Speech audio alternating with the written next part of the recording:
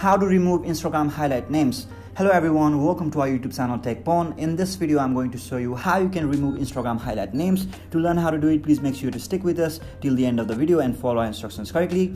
So without further ado, let's get started. So first open your Instagram application on your mobile device and go to profile and tap on the profile icon shown at the bottom right corner of the screen and right now I'm on my profile section and you can see there are some highlights on my profile page. So to remove Instagram highlight names just follow me and you will be able to do it. Open your browser of your choice on your mobile device. I'm going for chrome. And now search for remove instagram highlight names on your search bar.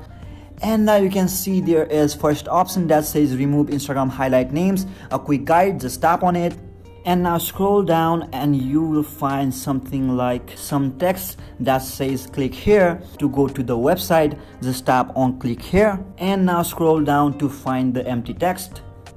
Just tap on select text and copy it. And now copy the text to your clipboard.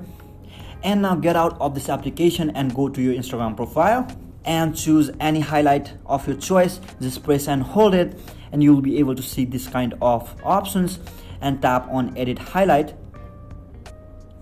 And now delete this text and paste the text that you have just copied just paste it and now tap on done. And now you can see that I have removed Instagram highlight name. It was very easy to do. Just go to this website and copy this text and paste it to your Instagram highlight and you will be able to remove Instagram highlight names.